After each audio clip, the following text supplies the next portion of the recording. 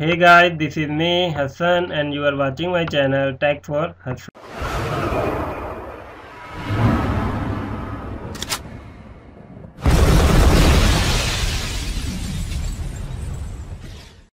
M S Excel की सातवीं class में मैं आपको वेलकम कहता हूँ।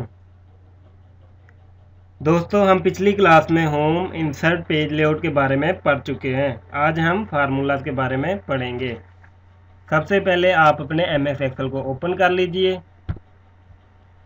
ओपन करने के बाद आप फार्मूला में जाइए, आपको इसका इंटरफेस इस तरह नज़र आएगा। ठीक है दोस्तों? फार्मूला में दोस्तों मुख्तलिफ़ फार्मूले हैं, जो हम एम एस एक्सेल में इस्तेमाल करते हैं।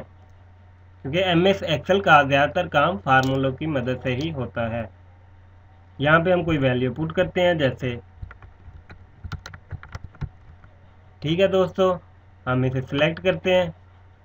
सिलेक्ट करने के बाद दोस्तों, हम ऑटो सम में आते हैं। ऑटो सम में हम इसका सम लेते हैं। उसके बाद दोस्तों, हम चाहते हैं इसके एवरेज लेना एवरेज भी ले लेते हैं। दोस्तों, हम चाहते हैं ये कितनी लाइनों में है? काउंट नंबर करके बताइए, सात लाइनों में दोस्तों। उसके बाद दोस्तों, हम चाहते हैं इसमें मैक्सिमम वैल्यू क्या है, वो हमें बताएगा। इसके बाद हमें मिनिमम वैल्यू बताएगा। मोर फ़ंक्शन में दोस्तों, हम इसके और भी ज़्यादा फ़ंक्शन इस्तेमाल कर सकते हैं। दोस्तों, इसके बाद ये फार्मूलाज हैं। रिसेंटली यूज़ किए हैं फाइनेंशियल यूज़ किए हैं लॉजिकल के हैं टेक्स्ट के हैं डेट एंड टाइम के हैं लुकअप के हैं एंड रेफरेंस दोस्तों मैथ वगैरह के हैं, ये हम इंशाल्लाह जब फार्मूलाज वगैरह करेंगे तो उसमें आपको सिखाएँगे। ठीक है दोस्तों, यहाँ पे एक सेल है, जैसे ये सेल है, इसका नाम हम यहाँ पे नज़र आ रहा होगा आपको, ये सेल ठीक है दोस्तों, यहाँ पे इसका नाम आपको नज़र आ रहा है सी टू हम चाहते हैं इसका नाम कोई रखना, हम डिफाइन नेम पे जाएँगे, यहाँ पे हम इसका नाम रख देते हैं जे के एल ओके कर देते हैं दोस्तों। हम डी का नाम रख देते हैं, यहाँ पे किसी और सेल का नाम, यहाँ पे डी टू है, हम चाहते हैं यहाँ पे इसका नाम कोई और रखना डी टू ना आए। तो यहाँ पे हम लिख देते हैं एम एन ठीक है दोस्तों? अब हम क्या करते हैं दोस्तों, यहाँ पे कुछ वैल्यू पुट करते हैं फार्मूला लगाते हैं। फार्मूला के आपको पता है फार्मूला के शुरू में हमेशा इक्वल लगता है एक्सेल में। उसके बाद दोस्तों हम J K L J K L के बाद हम प्लस प्रेस करते हैं। प्लस के बाद हम एम एन एम एन लिखने के बाद हम इंटर करेंगे तो ये हमें ज़ीरो दे रहा है। दोस्तों, ये ज़ीरो इसलिए दे रहा है क्योंकि हमारे पास कोई वैल्यू नहीं है। हम दोबारा यहाँ पे कोई वैल्यू लिखते हैं। फाइव फोर थ्री टू ठीक है दोस्तों? अब हम क्या करते हैं? यहाँ पे क्लिक करते हैं। इक्वल किया। इक्वल करने के बाद हम सम लिखते हैं। सम यहाँ पे हम J K L plus M N bracket बंद इंटर करते हैं। ये दोस्तों हमारे पास इसका टोटल आ चुका है। ठीक है दोस्तों? ये हमारे पास सामों की वैल्यू आ गई। उसके बाद दोस्तों, हम ये जो हमने सेव किए हैं डिफाइन नेम यानी कि हमने इन्हें फार्मूला में इस्तेमाल करना चाहते हैं, जैसे हमने आपको यहाँ पे करके दिखाया, हम इसे फार्मूला में इस्तेमाल करके।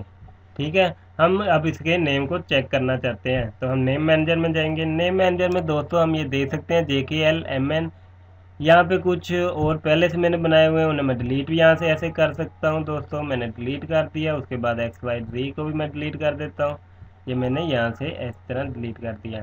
अब न्यू भी ले सकते हैं दोस्तों न्यू पे क्लिक करके दोस्तों आप न्यू भी ले सकते हैं। उसके बाद आप एडिट कर सकते हैं, इसका नाम चेंज कर सकते हैं। ठीक है दोस्तों। उसके बाद है दोस्तों, मैं यहाँ पे जैसे लिखता हूँ, कुछ वैल्यू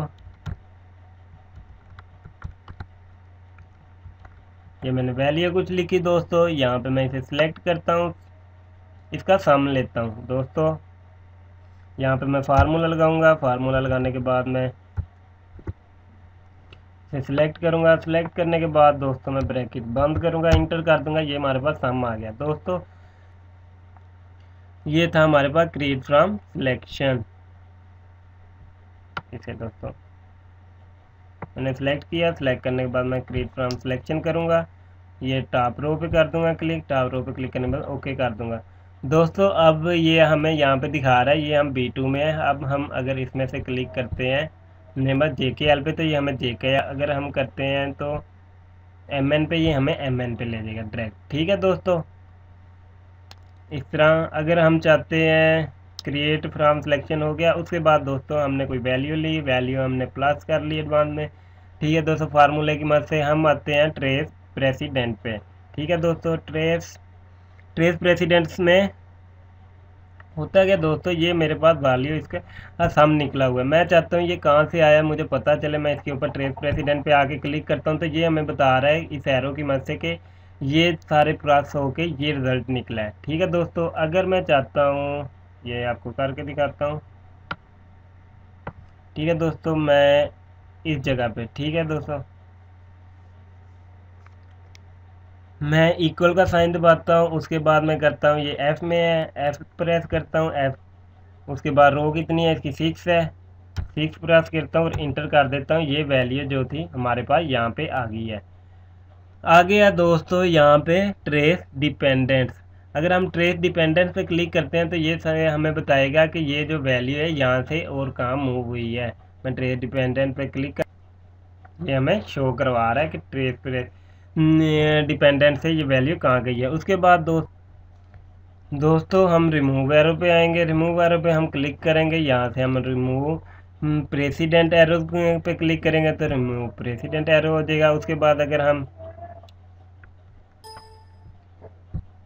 इसके ऊपर का डिपेंडेंट पे करेंगे तो ये डिपेंडेंट वाला हो जाएगा। अगर हम रिमूव एरो पे करेंगे तो ये दोनों एरो चले जाएँगे। ठीक है दोस्तों? दोस्तों कैलकुलेशन ऑप्शन है। यहाँ पे हम ऑटोमेटिक है। कैलकुलेट नाउ बाकी वाच विंडो है। कैलकुलेशन ऑप्शन वगैरह ये हम आपको बाद में करवाएँगे, जब हम फार्मूला को पढ़ेंगे।